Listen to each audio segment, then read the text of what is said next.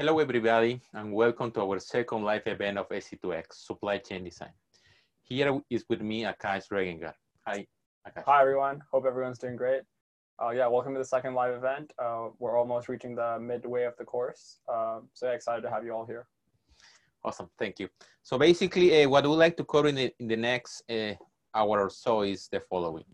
Gonna start giving an overview of the, the of the meter exam. So basically, I'm gonna be describing what you should expect for this meter, and also uh, giving some uh, some rules about uh, the meter. Then the main uh, part of this live event is gonna be we're gonna be solving some problems from past exam. Basically, we're gonna be solving two problems. One, it's about network design, and the second one, it's about a fixed planning horizon model.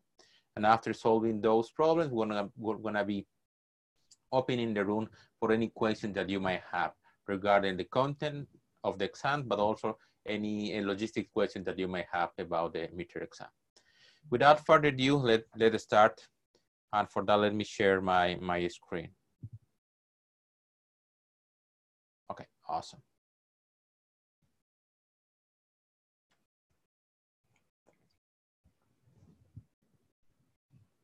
Okay, great. So we'll start with the, the overview of the meter exam. So the meter exam is an open book exam. So this means that you can use any material that you have for this uh, from, from the course. So this means that you can use the, the videos or you can use the slide or even you can use the Excel that you have created or the SAS script that you have created. So everything that you have available, you can use it during, during the, the exam. Second thing is, uh, let me highlight that this the, the goal of this exam is to assess your knowledge. So basically, it's a means for us to know where you are in terms of gaining the, the knowledge. In this sense, we are not providing any feedback during the test. So basically, you, won't see the typical uh, check check or the, the, the, right, the right sign that you have for the GAs, that won't be provided during the, during the test, okay? So no feedback will provide during the test, and also we're not gonna be providing the solutions after we close the, the test. Remember that this exam is only uh, for assessing your, your knowledge. So yeah, just to emphasize, even after the exam is closed, um, if you got if you anyone reaches out uh, asking for solutions or where they went wrong, uh, please know that we will not be able to provide this uh, on any platform. Correct. It's not an opportunity for learning. It's just a means for us to assess where you are. Okay, regarding the, the timing, so the meter exam will open tomorrow. So that's uh, December 4th at the usual time, 1500 UTC. And it will remain open for one week. That means that we are gonna be closing this meter exam on December 11 at the same time, 1500 UTC. So this means that the midterm exam is gonna be available for one week, but keep in mind that this is a time exam, meaning that you will have only a limited time to complete. So basically, you're gonna be having four hours to complete uh, this test. So this means that when you click the start button, you will have only four hours to finish the, the test. Okay, but the exam is gonna be open for one, one week. In order to have the complete four hours, please start at least four hours before the, the deadline. Okay, and with that, let me um, let me go um, and, and ask you the first the first question. And what I want to ask you is, when do you plan to take this exam? And the options that I have for you are before the weekend. Weekend, so that means uh, Wednesday, Thursday, or Friday during the weekend, Sunday, Saturday or Sunday, and finally after the weekend. That will be the last days, Monday, Tuesday, or even Wednesday. Okay, so we have started collecting some of your uh, inputs. Already 20, 20 responses. So some of you are saying that you're planning to take before the weekend. Some of you after the weekend. But the vast majority at least uh, three quarters of you are saying that you are planning to take the, the exam during the, the weekend. Okay, I think that's a good, I would say that's a good time to, to take exam. Because just keep in mind also that if you uh, start the exam just before the deadline, we're not be, we're not be able to help you as well. So the sooner you start the exam, also that gives us opportunity to help you as well to to answer any question that you have about, the question that you are that we are asking. Okay, so the vast majority are planning to take the exam uh, during the weekend, yeah. which is great. Even if you're planning on taking it after the weekend, try to take it on Monday and not wait till the last minute in case there's some technical issues or people's internet connection or something. So I'd recommend taking it as soon as possible just to make sure none of these issues occur. Okay, great.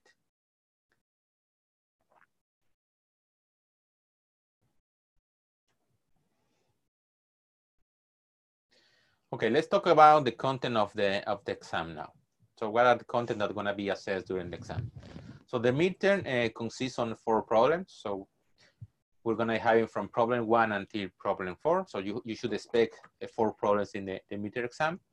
And the content, uh, what, what it will cover is all the material that is uh, from weeks one until week four. So this means the material, the two lessons of week one, two lessons of week two, two lessons of week three, and also the two lessons of week four. So we also provided you with some material in week five, a few practical consideration in network design. That's not gonna be assessed during this test, okay?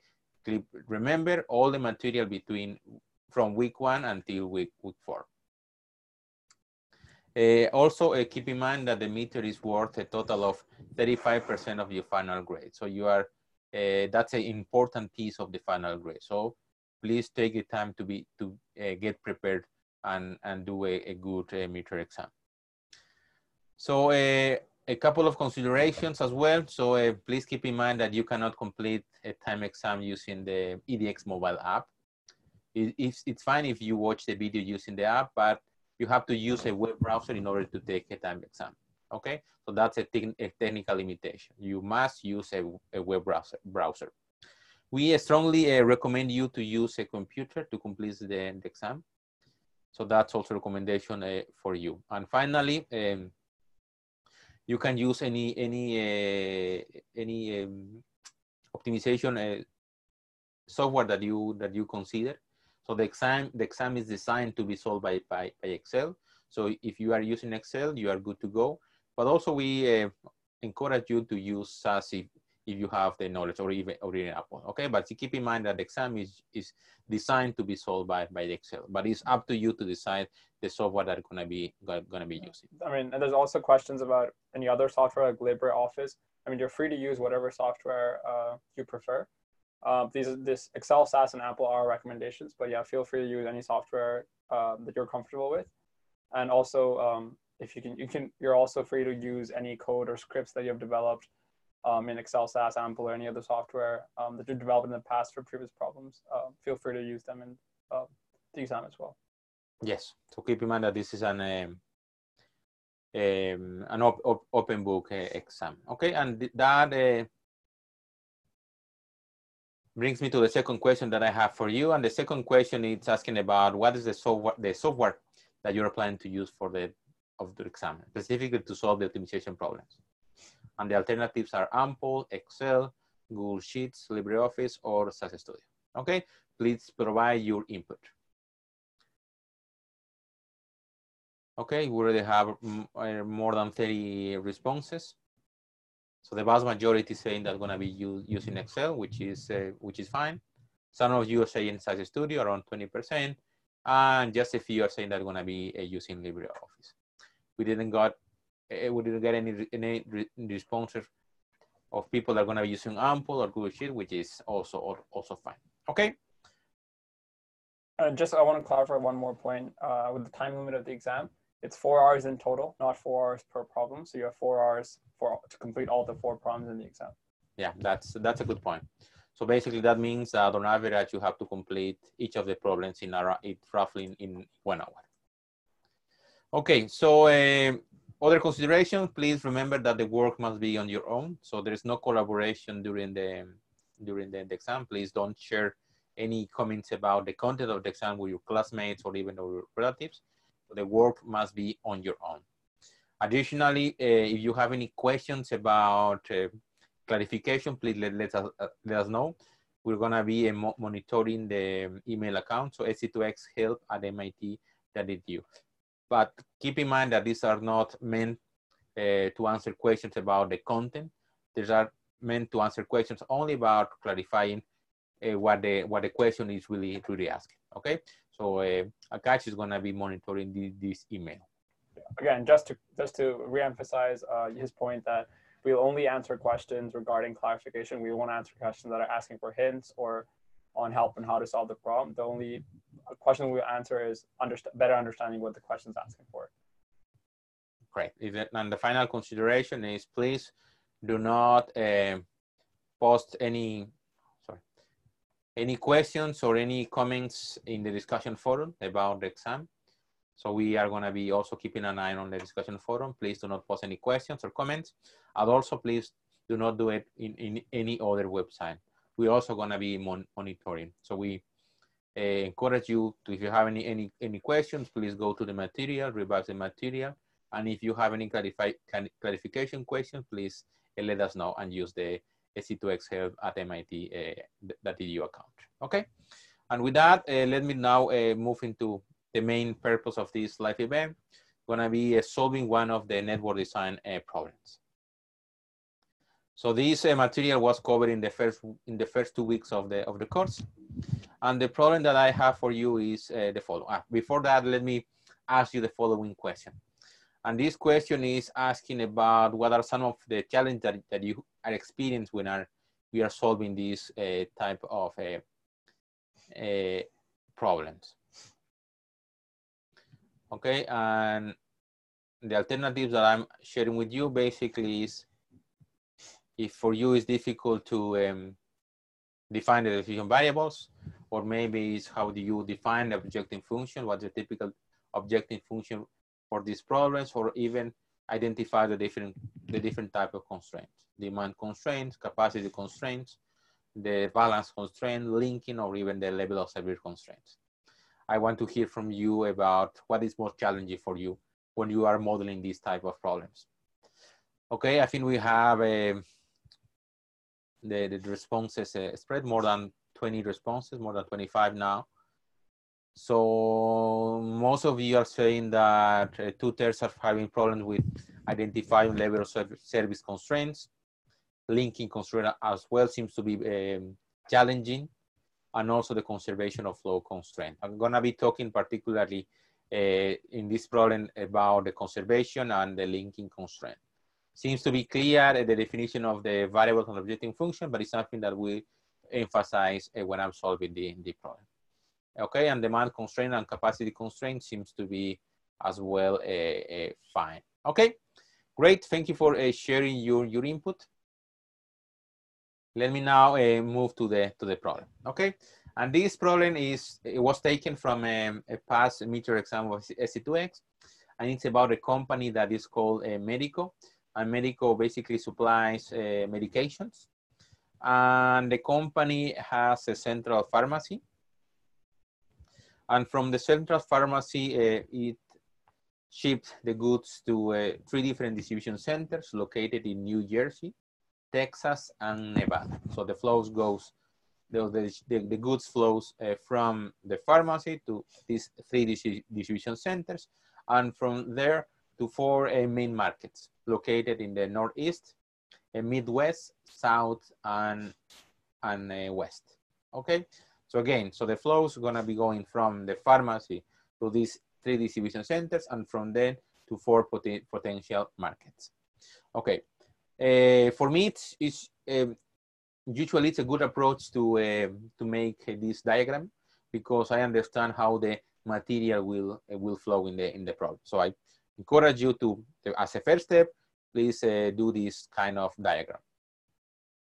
The second thing is uh, usually I collect, I gather all the information that is available to solve the, the problem. In this particular situation, what we know is already what are the origins, the intermediate points, and also the destinations. So we know how the, the material flows for this problem. But also we have information about the transportation costs. So that was given in this problem. So basically how much it will take to move one box from the pharmacy to the different distribution centers. And we can see that these costs are different. So it depends uh, where, the, where, where we are sending the goods. And also we have information about the transportation go, co costs for the second piece to move the goods from the distribution centers to the final final markets. Okay, and we can see that each of these arrows or, or each of these transportation costs has a, a different uh, transportation unit transportation cost. Okay, so that information that is is given. We also have information about a fixed cost. This is a fixed cost that we incur every time that we open or, or we run a facility. So it's a, this fixed cost is link is associated with each of the distribution centers. So we have 15,000 for New Jersey, 10,000 10, 10, for Texas, and 20,000 in the case of Nevada. And basically we're gonna be incurring in each of these costs, costs if we're gonna be opening the facility or, or not. Um, what else? Um, okay, so that's all the information that we what we have. Additionally, we have a demand that we need to satisfy. Okay, so that's uh, the, generally the second step. So gather all relevant information for this for the problem uh, that we are trying to solve. Next, um, we're gonna be deciding what need to be to be solved. And basically, typically for these types of problems, we have two main decisions to be to be made. The first decision, it's about the flow. So basically meaning how much product we're gonna be shipping from the different, from the different nodes. For this particular problem, we have two types of these decision variables. The first one is what is called inbound flow. Basically, we need to decide how many uh, boxes we're gonna be shipping from the plants, sorry, from the ph pharmacy to the different distribution centers. So basically we have three of these decision variables. And also we have what is called outbound flow, basically the flow that goes from the distribution centers to the different markets.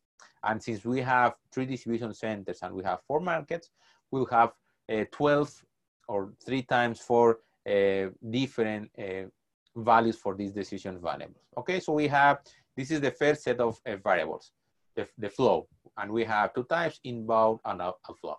So in total, we will have 12 plus 3, 15 of these uh, flow variables. The second decision to be made, it's about if we are keeping or reopen a facility, this in this case, or not. Since we have three distribution centers, we have to make three different decisions, one for each of these distribution centers. And the way to incorporate this is using this binary constraint. Zero meaning that we are, we are not opening the facility and one meaning that we decided to open the, the facility, okay? And just to clarify, so this is a binary constraint and all the flow variables are gonna be uh, typically gonna be integers because we are shipping in this case uh, boxes. What's gonna be the objective function? So typically, typically in this uh, type of problems, what we aim to do is to minimize total cost. And for this problem, the total cost is gonna be composed for two uh, cost components. The first one is gonna be the transportation cost. Remember, I just show you and um, share with you the transportation cost uh, for each of the of the legs. So basically, we're gonna be multiplying each unit transportation cost by the amount that we are uh, shipping from the different from the different nodes. So that's the first component, the transportation cost, and the second component is gonna be the fixed cost basically the cost that we're gonna be incurring if we open the different distribution centers. Okay, so what uh, we have done so far, we have a diagram of the of the problem. We have collected information about uh, the different data that was available. Then we set the decision variables, two types, and also we set the objective function. We're trying to minimize the total the total cost, which is composed by transportation cost plus the fixed cost. Okay, and the final piece is regarding the limitation or basically trying to answer what are the constraints to solve this, this problem? What are the limitations to solve this problem? And typically we have uh, some constraints. The first demand is associated with the demand. So that's also information that was given. So basically we need to satisfy a specific demand for each of the of the markets.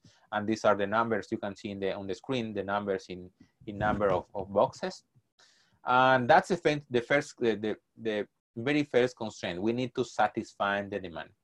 Okay.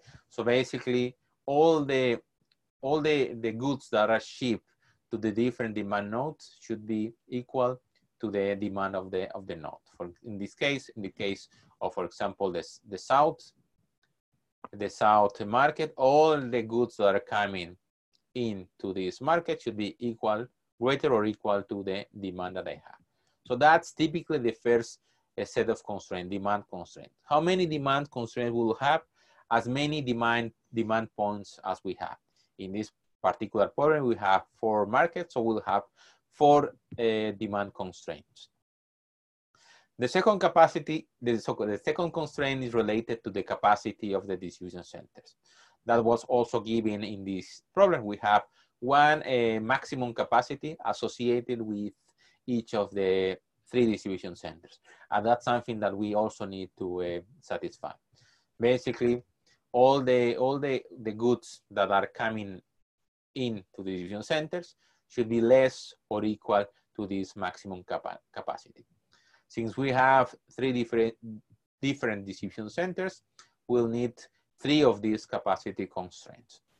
There's no capacity constraint related to the pharmacy, so we are free to uh, ship or send as many goods as we as we as we can.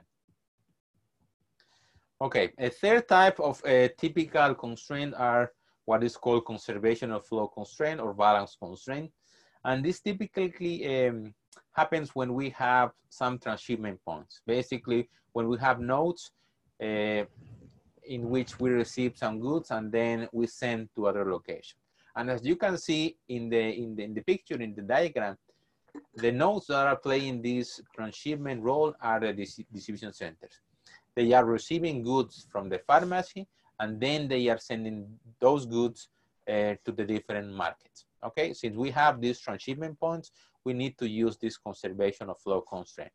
And this conservation of flow constraint, basically what it's saying is all the goods that, we that we are receiving that are coming in to each of the distribution center should be equal to the to the flow that is going out. So basically the inflow should be equal to the outflow.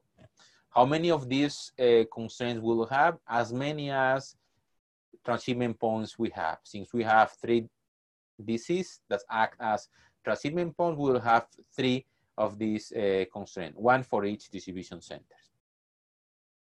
Then uh, we'll have the linking constraints. That's also an important uh, piece. And this piece is basically, or this type of constraints we need when we have a combination of flow, flow variables and also binary variables. So the, the function of these uh, constraints, as the name says, is to link the variable constraint, so the flow constraint with the binary constraint.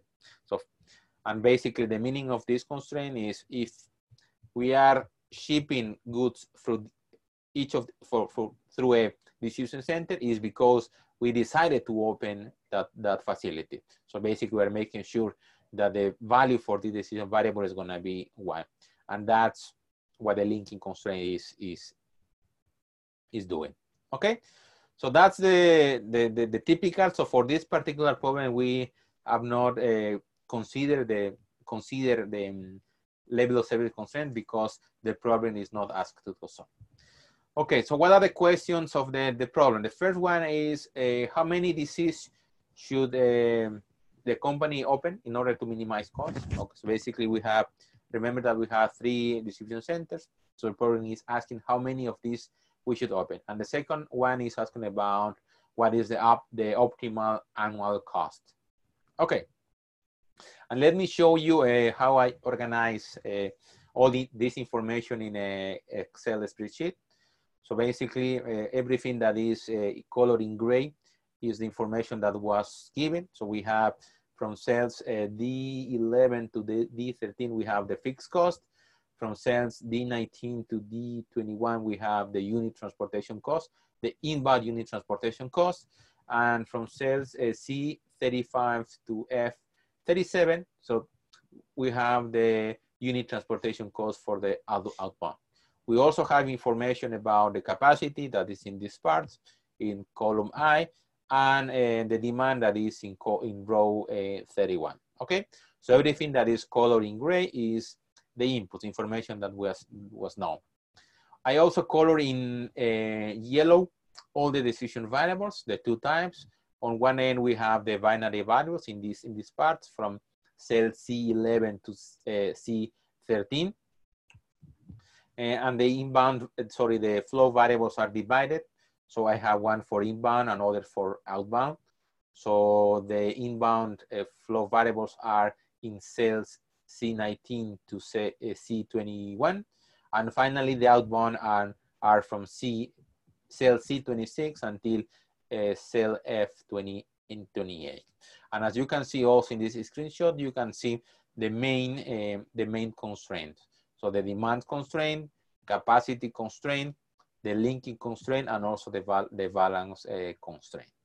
After just using the, the solver, the Excel solver, this is the result that I, that I got, okay? So to answer the first question is how many uh, distribution centers we should open.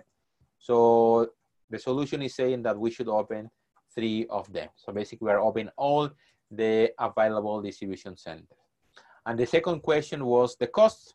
The cost, uh, as you can see, was composed by three components. First one is the fixed cost. Since we are opening the, the, the three facilities, so the, the fixed cost is gonna be the sum of the three individual fixed costs. Then we have transportation costs, which is divided by inbound and outbound transportation costs. So the three, so the sum of these three cost components is gonna be the total cost, okay? In this case, uh, $390,900, uh, okay? And that's uh, how we solve this, this, this problem. Okay, the second question, and, and with that, I'm gonna be ending my, my participation in this, in this piece, is saying the following. The company uh, finds uh, that building the DC in Texas is not an option due to state regulation. So basically we cannot open a, a distribution center in Texas. And basically is asking what would be the, the op optimal annual cost under this condition. Okay, and with that, uh, I will uh, ask this question to you. So basically uh, what we are saying is, okay, we cannot open a facility, we cannot open a distribution center in Texas and the question for you is gonna be, uh, okay, how do you model this situation? And we have a couple of options. First option is start modeling from scratch, okay? So we have to repeat everything and create an uh, Excel spreadsheet from, from scratch. The second option is modify the initial model, just removing information related to the distribution center in Texas, okay? So uh, remove all information in the original spreadsheet that it's about Texas. And the, the final option is add an extra constraint to make sure that the DC in Texas is not open, okay? Adding a, a constraint. Let me tell you that the three options are, are valid, but of course there are, there's one that is uh, more efficient. And let's see your, your answer. So we have almost uh, 30 responses. Some of you are saying that around 10% that start, start uh, from scratch would be a good option. 13, 13% is saying that modify the initial model. And the vast majority, around 75%, uh, is saying that we need to add a constraint. I would say that that's the most efficient um, efficient way to go.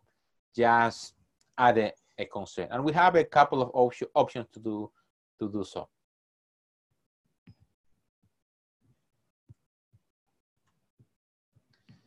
Okay, so typically keep in mind that we are not allowed now to open Texas. So one way to go would be, okay, so we need to force the value of this cell, the cell C12, to be equal to zero. And that's what I'm doing here, okay? Specifically, now we are forcing to make this value zero, meaning that we are not opening uh, the distribution center located in Texas. Okay, that's one alternative using just adding a constraint. Another alternative would be instead of adding a constraint, so we might also modify the fixed cost. Okay, so now the fixed cost is 10,000. So we might increase and use a really big number, for example, 1 million. Okay, if you use $1 million as a fixed cost for Texas, so the model, since this is a minimization uh, objective model, will force not to open this, this facility. Okay, and that will be a second, a second alternative to uh, solve this problem. And this will be uh, the solution. So you can see that now the value for the decision variable associated with Texas is now uh, is now zero. Okay, and with that, uh, I will open to any any questions. Do you have yeah, some questions? There's a few questions. Um, okay. One of them is uh, back to the arc flow. I guess you can open that again. Um, sure. The arc flow diagram. Uh, they want to know where the balance constraints are in the arc flow diagram. Can you just talk over that? Okay, sure. I'm gonna be sharing again my, my screen. The linking constraint, the conservation. Uh, the balance constraint. Okay. Okay, the balance constraint are the conservation of flow constraints. Okay, so they are synonyms. Balance or conservation con flow constraints are exactly the same.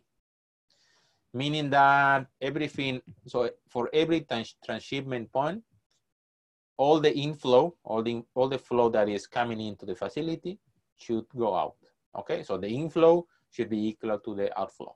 So basically, the value of this decision variable of this arrow should be equal to the sum of these three or four arrows.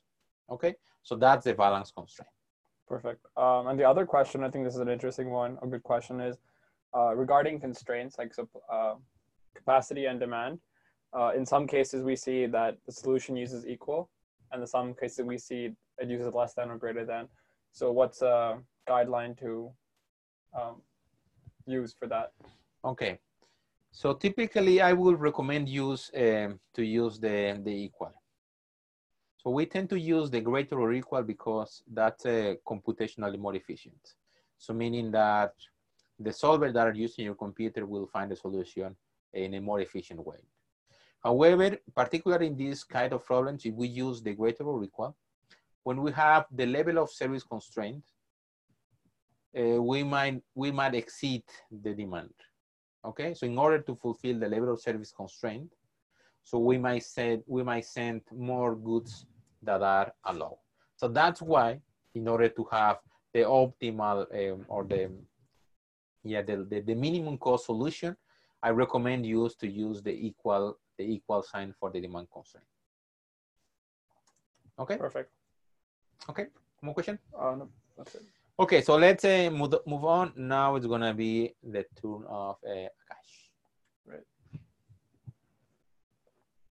Okay, I'm sharing the screen. Okay. All right, so I'll be going over the fixed planning horizon model uh, question. It's a practice question that uh, you can use for the exam. Uh, so just a quick look at what the problem is. Uh, so we're um, looking at a problem for Alta Poli. Uh, they're a concrete electric pole manufacturer and distributor in northern in the northern city of Monterrey, Mexico.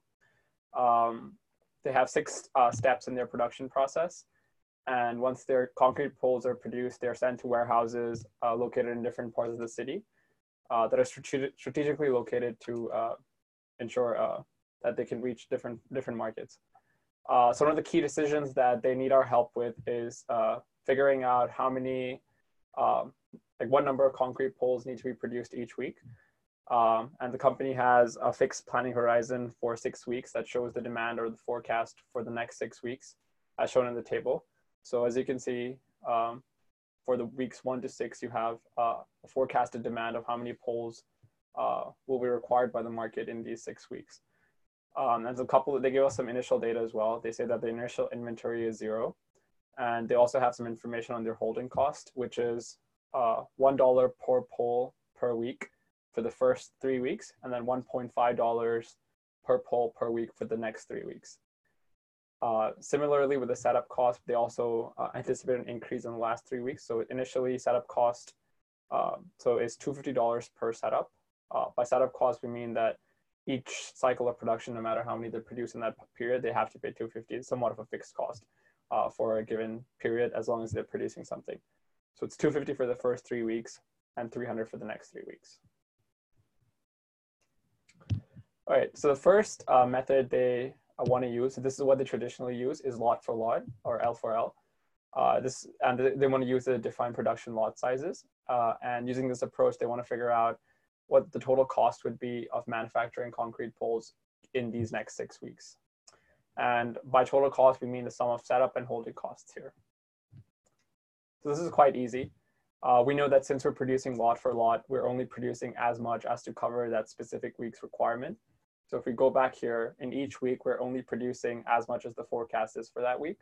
So in week one, we'll be producing 1497, week two, 115, week three, 708, and so on. So as such, you have no holding cost, no excess inventory, which leads to no holding cost. So the only cost component in the total cost uh, equation we have here is setup cost, which as I said is $250 for the first three weeks and $300 for the next three weeks, leading to a total of 1,650. So this is a quite easy uh, problem since we're using lot for lot. There's no inventory, so no holding costs. The only thing we're looking at is setup costs and how uh, they add up over the six weeks period. Great. All right, so this is it gets a little more interesting here. Uh, now they want to look at some different methods uh, to see what uh, the production lot sizes should be. Uh, they want to try and see how the silver meal method looks. Uh, and using this method, what the total cost would be. Again, uh, the total cost here we mean is the sum of the setup and the holding costs. and they want to know what the total cost would be across the next six weeks for manufacturing these poles.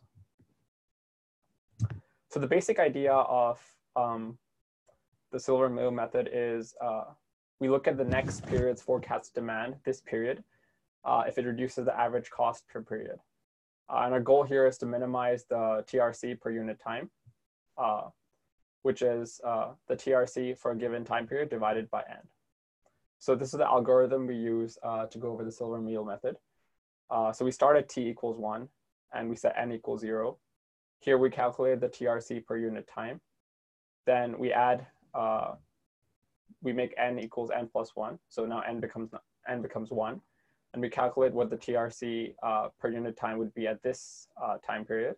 We notice that if the TRC uh, is greater at the next time period than the previous time period, we place an order in the time period t for the quantity equal to the forecasted demand of periods from t to t plus n minus 1. Uh, and we set t equals t plus n to go back to step 2 and start this process again. If it doesn't, if TRC uh, per unit time at t plus n is not greater than uh, TRC per unit time at t plus n minus 1, we go back to step 4 and continue the process. Um, so that's an algorithm, but I'll show an example of how uh, this is calculated. So let's start here. So we see that um, we have the forecast, the setup costs, and the holding costs uh, for each of the six weeks for these uh, electric poles. And we can look at the, the total uh, relevant cost here across the six time periods. Um, so we start here at this 250 number. So this is uh, the cost of producing uh, forecasted poles for week one, averaged over one time period. Then according to the algorithm, we could keep going.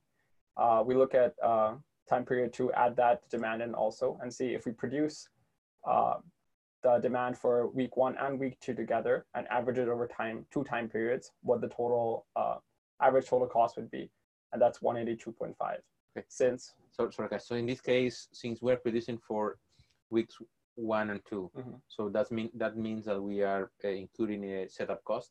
Uh, no, so we would only include setup costs uh, once since we're producing all of it together. Uh, but the week two demand that we have will incur holding costs for that one week. So basically, this 182.5 that is averaged over these two weeks is basically uh, one setup cost of 250 uh, plus uh, holding cost for these 115 poles that we have to hold for one week until we enter week two, averaged over two time periods. Perfect. Uh, a good clarification.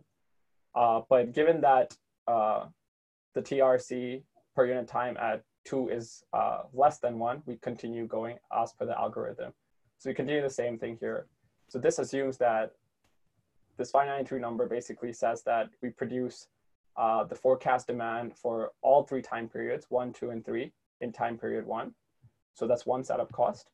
Plus we uh, account for a holding cost of these 115 poles for one week and these 708 poles for two weeks since we're producing all of that at one and average that over three time periods. Now that we note that this is higher than uh, the TRC here is higher than here, so we that's our breakpoint, and we say that we produce um, the demand for weeks one and two in time period one, and start again at time period three to continue with the algorithm. So you continue with that to figure out um, how much we produce in each week, and with that we can get our total cost of 1505. Okay, so basically the solution in this case would be to produce in week one Mhm. for week one and two, of Yeah. course. Then produce in week uh, three, just for the for Yeah. week three, and then producing week four for weeks four and five, and produce in week uh, six. Exactly. And that's what the total cost would also tell you. So we said that we produce for weeks one and two in week one because your breakpoint is here. Then you continue with the algorithm starting at three. Your breakpoint becomes here because this is higher than this. So that's your breakpoints. You produce week three's production in week three or week three's demand in week three. Then you continue with um, week four, week five, and week six. And that's how you get uh, your total um, uh, production, which then leads to your total cost, uh, accounting for inventory cost and setup costs accordingly. Okay, great. Perfect. And the last method that the company wants to try out and see is the optimal method. And in this case, they don't want to know the total cost, but rather how much should be produced in each week. So there's two ways to do uh, the optimal method. We can either use a multi-integer linear program or use the Wagner within method, uh, the algorithm to solve this problem. So that's what we use here. Um, so just to go over what the algorithm says. So we start at time t equals one, and we find the cost for ordering just enough to satisfy that given time period. And then we look at all the past orders until uh, time equals t equals one, and find if we add those, add that demand uh, on and uh, produce it in one order, would that reduce our um, reduce our cost? Uh, and you keep going until um, until t equals n, and then you can figure out um, what the lowest cost option would be to um, to meet this optimal method uh, algorithm. Uh, I guess so this again, this would be better illustrated by an example. So um, in week one, as we have nothing before, and we have to cover the demand for week one, we produce all the demand for week one in week one. So that incurs the setup cost of 250, but no holding cost, since we're satisfying all the demand for week one.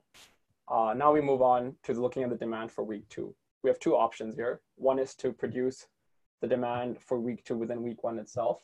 So which means we would occur the incur the $250. Uh, note that this is all total cost. So the cost for all the uh, demands together. So uh, at 365, this means that we would incur a setup cost of 250 plus a holding cost for these 115 uh, poles for a week. That's 250 plus 365. The other option we have is um, produce the demand for week two in week two, which means it would occur a 250 incur a $250 um, setup cost in week one plus a $250 setup in week two, leading to 500. And we notice that 365 is the lesser of the two options, meaning that this is what we would go with. Now we can move to week three and keep going the same way. So in week three, we see that at 1781, this means that we're producing uh, the demand for weeks one, two, and three in week one. So here we would incur a setup cost of 250 plus a holding cost for one week for these 155 poles, plus a holding cost for two weeks for these 708 poles, leading to 1781. Now the other option here is that um, we continue producing week one and week two's demand in week one. So that's 365. And we uh, produce these 708 units in week two and incur holding cost for one week, leading to 100 1208. The third and the cheapest option here with these numbers is that we produce week one and week two in week one, incur the holding cost for one week, and then produce week three's units in week three, leading to just an extra setup cost here with no holding cost for week three's units, leading to 615, which is the cheapest option. Uh, so this is how you would go forward to see what you would produce in each week. And leading to the answers then, we see that, as I mentioned, we produce week one and week two uh, units in week one. Then we move on to week three, produce week three's units in week three, and so on and so forth. Um, so this is an algorithm you can use to um, figure out the optimal method, uh, what the optimal method or the optimal solution would be for uh, this production, or you can also use a multi-integer linear program, as mentioned in the course. Okay, great. Thank you, thank you, guys. So in this case, the optimal the optim- optimal uh, total cost was uh, Uh, that value, right? Yeah. So we have uh, 1505. So how much was it using the, the other one? The silver and middle? I was exactly the same. Okay, which which doesn't happen every time. Mhm. So of course, with the optimal method, you will get you will get always the the best solution, the optimal solution, And the silver, silver and meal method is just an heuristics, okay? Meaning that you will get a, a good solution. Sometimes gonna be the optimal, but not always, okay? Perfect. Um, so let's just take a look at any questions that might have come up. Yes. Um, Okay, so we'll open to any any questions uh, that you have. Please now Perfect. is the the time about the, the content or about the logistics of, of the exam. okay. Um, so just a quick question about um, the attempts in the exam and uh, how the grading and I, I- guess you mentioned this, but I guess let's reiterate this point. Um, so yeah, you will have two attempts in most questions un- unless it's otherwise mentioned that you only have one attempt. But again, you won't be able to see whether your first attempt was right or wrong. You would receive no instant feedback. The only reason we give you two attempts is in case you make a typo with the first attempt or something like that. Uh, so yeah, you won't see any feedback, but um, yeah, you will still have two attempts unless otherwise mentioned. Yeah, that's correct. Um, and whether this uh, live event is going to be recorded and uh, can we access? Yes, it's being recorded to YouTube, and we'll share the link on the course very soon. Yes, and also we will be sharing the, the slide that we use with the Yeah. calculation. So there's the slides and also the, the Excel file. So that's gonna be available for you in week number five uh, under the tab live event. Okay. And um, also, um, there's no feedback before or after the exam. Um, so the so, so you won't be able to see what uh, questions you did right or wrong. Uh, all you'll be able to see is your final score at the end, and we'll be able to provide no feedback or no specific question feedback for any of the exam questions, since the purpose of the exam is just to assess your knowledge and not uh, in terms of learning or anything. Yes. So also the uh, let me let me mention that the progress bar is gonna be disabled during the during the week that the exam is is open. Yeah. Okay. Um, there's another question asking whether there'll be resources available over the weekend to answer questions about the exam. Uh, yes, I'll be monitoring the email uh, many times or a few times at least uh, over the weekend. Obviously, I won't be able to respond immediately, uh, but yeah, send the questions as soon as possible. I'd recommend sending, uh, looking through the exam first, seeing what questions you may have, and sending so that I still have those. You still have those four hours instead of waiting to the last question to send me an email, and then you don't have much time uh, to wait for the response. Um, and yeah, there's another question about time constraint for any particular problem. No, there's no time constraint per problem. The time constraint is for the whole exam is four hours. You're free to spend as much time as you want on each problem as long as the total across the four problems does not exceed four hours. Yes. Um, yeah, will this case study be available in PDF form for practice? Yes, it will. We'll upload it very shortly. The slides. The slides. Yes. Yeah. Um, will there be provided sanity checks in the questions? No, I think we don't have any sanity check in the in the in the questions for this particular exam. No, we don't have. Um, yeah, and will any model data be provided in spreadsheets or will be inputting in all? Um, I think all the data, sh- uh, you would need to make your own spreadsheet model and input all of it uh, in the spreadsheet. I don't think, Yeah, but we don't have problems that that involves a lot of a lot, Yeah. a lot of uh, data. You will see Yeah. that we have maybe matrix with a two times five, so with ten values. Yeah. But no more than that. and a lot of it is already in table format, so you can just copy paste it. Correct. That is what what we recommend to you. Just Yeah. copy and paste what you have in the in the in the website. Yeah. Uh, do we get hints at the beginning with zero points like we got in the practice problems? No, I, I think there's no sanity check questions. There's still, uh, No. they're straight the. Um, okay. And regarding your last comment, silver meal misses optimal. Isn't it that they give the both the same minimum cost, but the decision variables could be different? Uh, yes, I believe so. So if, Uh, the, if the decision variables are different, so that means that the the total cost might be also different, right? Okay. So, but just keep in mind again. So the optimal method, so the Wagner-Whitin will, or or the the the meal formulation will give you the optimal solution, meaning that's going to be the least total cost. In the Okay. case of silver silver and meal, that's an heuristics, meaning that is an algorithm that will provide a good response, a good answer but not always the case is going to be the optimal. Okay, so typically, so the optimal or the Watson fee is going to be always getting always getting the optimal solution, and silver and meal is going to be something close to the, the the optimal solution, a good solution. um, will the exam be all model based or will there be conceptual questions as well? I think there's conceptual questions as well. Yes, so we'll have one problem that's going to be for this type of, of uh, questions, conceptual problems. So one of problem of conceptual, and the other three is going to be a more uh, qualitative uh, calculations. Regarding the data provided, if it contains decimal values, can it also be provided also with a comma as separator? I think with Excel, with using a comma separator, it might uh, take that differently versus a decimal. So I think all our data provided will be an actual decimal point when it uh, uses decimals. Yes, we have. For, I think we have for the for the distances um, Yeah. might might have some, but also for the cost. So we are providing just the, Yeah. the decimal point. Yeah. But what will be the recommendation in that case? Just to uh, copy and paste. Just to copy and paste. And I mean, if your Excel uses commas as decimals, It will recognize. either you can recognize or if it doesn't recognize, you can just manually change. So there's Yeah. not many data points. I mean, the exam is, um, I, I think if I remember correctly, um, the number of data points is much smaller than what you see on GAs or Yeah, that's correct. So yeah, it's meant to test your knowledge, not meant to do tedious repetitive work. So, correct. Yeah. All right, I think that's all the questions. Um, if you guys have any more questions, please feel free to reach out via email. Uh, it's sc2xhelp at mit.edu. Uh, or you can, uh, if you have any conceptual questions that are not relating to something graded, please feel free to use the discussion forums and uh, one of us will answer you there. Okay, awesome. Thank Perfect. you. Thank you, guys. Yeah, thank you. Uh, great seeing everyone here and good luck on the exam. Okay, thank you all for attending this live event. So one more time. So this material is gonna be the, the video and also the, the slides and the Excel is gonna be available for you after we finish this live event. And the best of luck in the midterm exam. All right, See thank you next time. Bye-bye.